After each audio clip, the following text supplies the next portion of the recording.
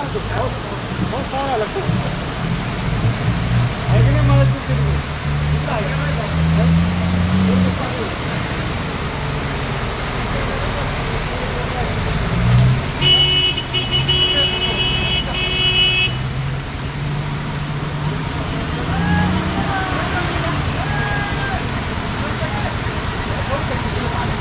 Thank you.